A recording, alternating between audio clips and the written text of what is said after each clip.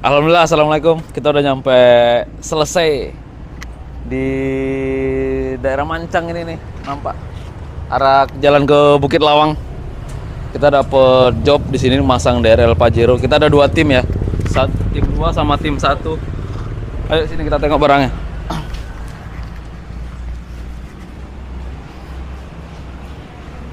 Ini kita masang mobil Pajero Sport yang tipe Dakar. Udah jelas lah masalahnya ini DRL-nya ini. Ini DRL-nya kita agak lagi dibedah.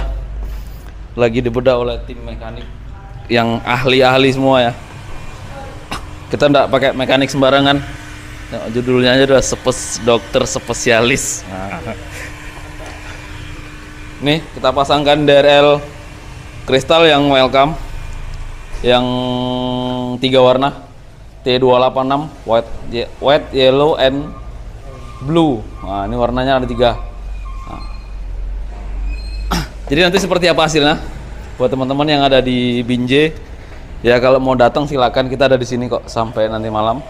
Mau konsultasi mau ngobrol boleh datang aja nanti kemari. Kita atur jadwalnya gratis nggak ada tanpa biaya. Kalau nggak jadi pasang nggak nggak pakai biaya. Sampai jumpa nanti malam. Assalamualaikum warahmatullahi wabarakatuh.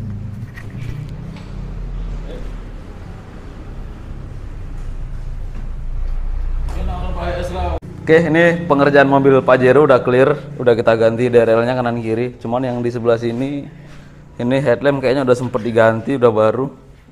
Tadinya sebelah sini mati diganti baru, akhirnya nongol lagi sebelah kanan mati. Karena memang penyakitnya sih, jadi kalau nggak diganti ya gitu-gitu juga. Eh, makanya buat teman-teman yang punya mobil Pajero, ya kalau seandainya DRL-nya mati, kalau mobil anda asuransi lebih baik diganti DRL-nya aja. Karena headlampnya ini cukup mahal. Nah udah gitu hasil DRL-nya juga lebih cantik.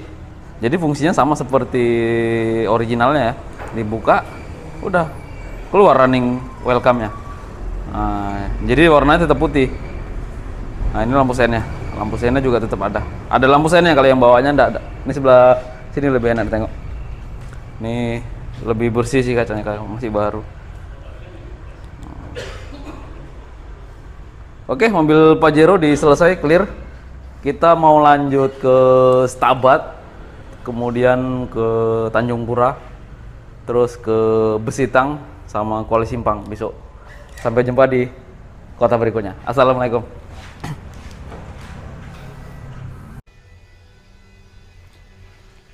Hari ini kita masih di selesai ada tambahan satu lagi di mobil Pajero kita pasang DRL Crystal Welcome yang T286 yang tiga warna white, yellow, and blue. Ini mobil Pajero satu lagi Alhamdulillah kita dapat rezeki lagi satu lagi.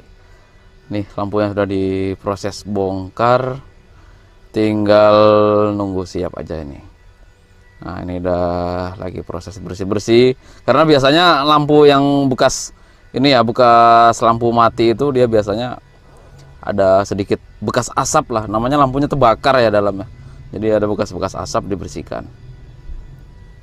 Mobil Pajero kita di selesai selesai binje nah. oke ini udah kelar ini hasilnya. Yang tadi malam mobil yang hitam ini warna putih. Ada dua kita Pajero di selesai binje ini ada running scene ya cakep.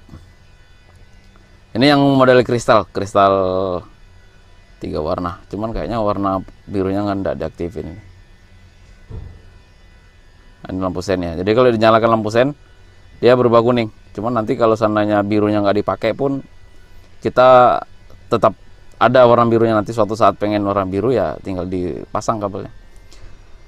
Oke selesai. Kita mau lanjut satu lagi. Mobil Innova masih di Binjai let's go Oke, ini mobil satu lagi, mobil Grand Innova. Kita proses masih di Binjai juga. Ini proses mobil Grand Innova. Kita pasang proyektor. Ini lensanya, lensa Hella Mini RLG Auto Lighting. Ini barang kita sendiri ya. Ini casingnya model New BMW, model yang terbaru. Terus demonesnya warna biru laut, ice blue. Mantep nih, mantep. Ini balasnya kita pakai yang 35 watt AC plus. Nih tipe kalau di paket ini paket 4A AC plus. Nah, itu dia paketnya. Kemudian untuk bohlam ini kita pakai H1 lah yang pasti. Ini kita pakai 6000 Kelvin. Terus ini kita tambahkan LED fog lamp yang tiga warna. Nah, ini sekalian kita pasang. Dia jadi ada warna putih, warna kuning pekat sama warna putih kekuningan sama persis sama lampu standar. Oke, ini dia tim-tim ahlinya. Mekanik-mekanik leadernya ini ya. Bos-bosnya ini juragan-juragannya ini. Ya. Mantap ini. Oke, ini hasilnya. Ini hasilnya setelah terpasang udah dicat warna hitam juga jadi lebih gelap, lebih kontras nanti kelihatan lampunya. CC mantep. Oke, kelar. Ini lampu senjanya. Lampu senjanya kita lihat dulu sebentar. Cuman memang nggak segitu seberapa penting sih bagi kami. Nah, nggak penting kali. Yang penting itu hasil sinarnya. Cuman kaca udah agak lecet-lecet ya masih bisa dipakai lah. Masih aman. Belum berjamur. Nah, masih bersih. Ini posisi sebelah kiri. Oke ini dia yang penting. Fog lamp tiga warna yang yang udah kita ganti. Jadi kita fokus ke penerangan.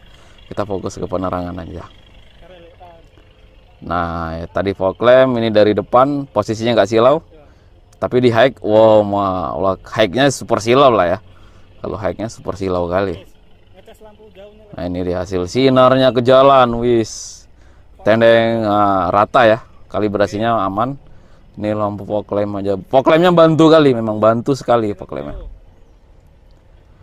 oke selesai pengerjaan. Di Binjai selesai kita nanti ke akan ke Kaban Jahe Sidikalang sama Brastagi tanggal 16 17 18 Assalamualaikum